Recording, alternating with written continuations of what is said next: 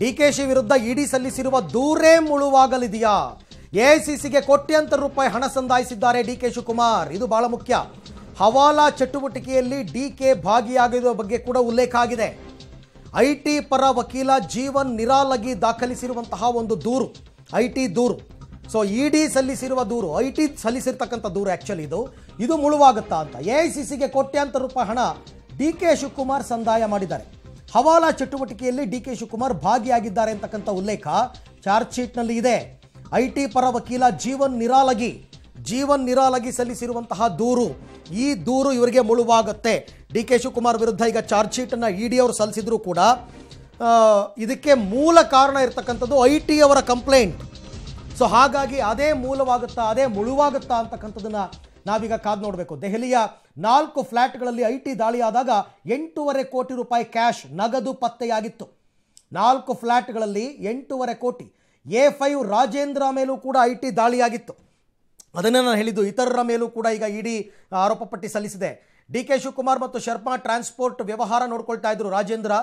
A five ಆರೋಪಿ number ಐದು, ರಾಜೇಂದ್ರ. ರಾಜೇಂದ್ರ ಡೈರಿಯಲ್ಲಿ ಕೆಲವೊಂದು ಟಿಪ್ಪಣಿಗಳು ಪತ್ತೆಯಾಗಿತ್ತು. ಆತನ ಮನೆ ಮೇಲೆ ರೇಡ್ ಮಾಡಿದಾಗ ಒಂದು ಡೈರಿ ಸಿಕ್ಕಿತ್ತು. ಅದರಲ್ಲಿ ಯಾರ್ಯಾರಿಗೆ ದುಡ್ಡು ಕಳಿಸಲಾಗಿದೆ ಅಂತಕ್ಕಂಥದ್ರ ಬಗ್ಗೆ ಮಾಹಿತಿ. ಲಕ್ಷಗಳಲ್ಲಿ ಕೆ ಜಿ ಅಂತ ಉಲ್ಲೇಖ ಮಾಡಿದ್ರಂತೆ ಇವರು. ಅಂದರೆ ಒಂದು ಕೆ ಜಿ ಎರಡು ಕೆ ಜಿ ಅಂದರೆ ಇಷ್ಟು ಲಕ್ಷಗಳು ಅಂತ. ಎ ಐ ಸಿ ಸಿಗೆ ಕೊಡುವಂತೆ ಮುಳುಗುಂದಿಗೆ ಐದು ಕೋಟಿ ರವಾನೆ ಆಗಿತ್ತು. ಇವೆಲ್ಲವನ್ನು ಪತ್ತೆ ಹಚ್ಚಿದ್ದಾರೆ. ಎ ಐ ಸಿ ಸಿಗೆ ಕೊಡುವಂತೆ ಆಂಜನೇಯಗೆ ಮೂರು ಕೋಟಿ ರವಾನೆ ಆಗಿತ್ತು.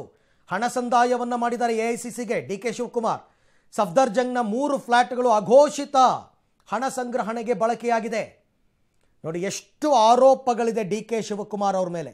ಸೋಲಾರ್ ಪವರ್ ಪ್ಲಾಂಟ್ ಬಗ್ಗೆಯೂ ದಾಖಲೆಯನ್ನು ಸಲ್ಲಿಸಿದ್ದಾರೆ ಡಿ, ಅಂದರೆ ಇವರು ಇಂಧನ ಸಚಿವರಾಗಿದ್ದಂತಹ ಸಂದರ್ಭದಲ್ಲಿ ಬಳ್ಳಾರಿ ಹಗರಿಬೊಮ್ಮನಹಳ್ಳಿ ಅಲ್ಲಿ ಸೋಲಾರ್ ಪ್ಲಾಂಟ್ ಮೇಲೆ ಇನ್ವೆಸ್ಟ್ ಮಾಡಿದ್ದಾರೆ ಅಂತಕ್ಕಂಥ ಒಂದು ಆರೋಪ ಇತ್ತು. ನಾಲ್ಕು ಫ್ಲ್ಯಾಟ್ಗಳಲ್ಲಿ ಐ ಟಿ ದಾಳಿ ಆಯಿತು.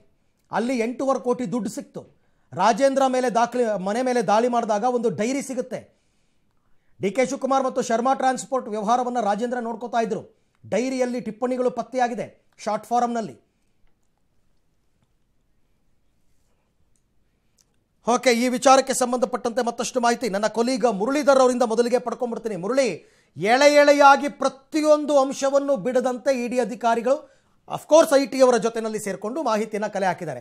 ಈ ಆರೋಪಗಳಿಗೆ ಸೂಕ್ತ ದಾಖಲಾತಿಗಳನ್ನು ಒದಗಿಸೋದಕ್ಕೆ ಡಿ ಕೆ ಶಿವಕುಮಾರ್ ವಿಫಲರಾಗಿದ್ದಾರೆ ಅಂತ ಸದ್ಯಕ್ಕೆ ಅನ್ಕೋಬೋದಾ? ಖಂಡಿತ ಖಂಡಿತ ಅರವಿಂದ್. ಯಾಕಂದ್ರೆ ಪ್ರಮುಖವಾಗಿ ಐ ಟಿ ದಾಳಿ ಆದ ನಂತರವೇ ಅಲ್ಲಿ ಸಿಕ್ಕಂತ ದಾಖಲೆಗಳು ಮತ್ತು ಅಲ್ಲಿ ಸಿಕ್ಕಂತ ಹಣ ಏನಿತ್ತು? ಎಂಟು ಪಾಯಿಂಟ್ ಐದು ಒಂಬತ್ತು ಕೋಟಿ ಹಣಕ್ಕೆ ಸಂಬಂಧಪಟ್ಟಂತ ಪೂರಕ ದಾಖಲೆಗಳಿರಲಿಲ್ಲ. ಅದೆಲ್ಲ ಕೂಡ ನಗದು ರೂಪದಲ್ಲಿ ಸಿಕ್ಕಿದಂಥದ್ದು. ಆ ಹಿನ್ನೆಲೆಯಲ್ಲಿ ಮನಿ ಲ್ಯಾಂಡ್ರಿಂಗ್ ಆಕ್ಟ್ನ ಅಡಿಯಲ್ಲಿ ಪ್ರಕರಣವನ್ನು ದಾಖಲು ಮಾಡಿಕೊಂಡ್ರು. ಅಂದ್ರೆ ಶರ್ಮಾ ಟ್ರಾನ್ಸ್ಪೋರ್ಟ್ ಮತ್ತು ಡಿ ಕೆ ಶಿವಕುಮಾರ್ ಅವರ ನಡುವೆ ನಡೀತದಂತ ವ್ಯವಹಾರಿಕ ಸಂಬಂಧಗಳೇನಿತ್ತು, ಅದನ್ನ ರಾಜೇಂದ್ರ ಅನ್ನೋರು ಒಬ್ರು ನೋಡ್ಕೊಳ್ತಾ ಇದ್ರು.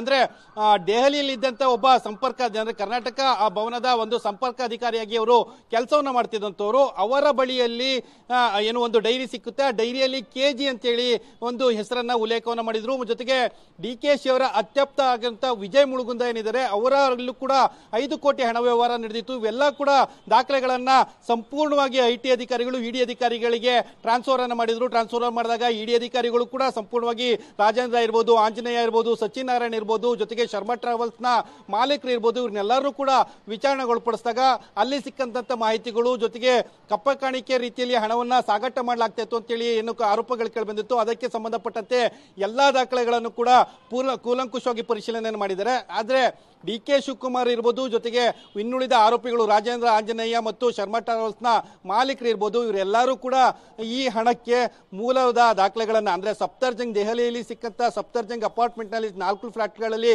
ಸಿಕ್ಕಂತ ಹಣ ಏನಿತ್ತು, ಅದಕ್ಕೆ ಪೂರಕ ದಾಖಲೆಗಳನ್ನು ಒದಗಿಸೋದ್ರಲ್ಲಿ ವಿಫಲರಾಗಿದ್ದಾರೆ ಅನ್ನೋದ್ರ ಬಗ್ಗೆ ಇಡಿ ತನಿಖೆಯಲ್ಲಿ ಸ್ಪಷ್ಟವಾಗಿ ಗೊತ್ತಾಗಿರುವಂಥದ್ದು ಅರವಿಂದ್.